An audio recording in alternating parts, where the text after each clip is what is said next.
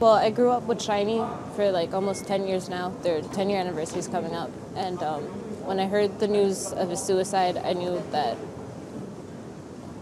I don't know that I just needed to come and show respects to him and to his family and to his loved ones. And um, I have family with mental health issues, so it hit home and it was very personal.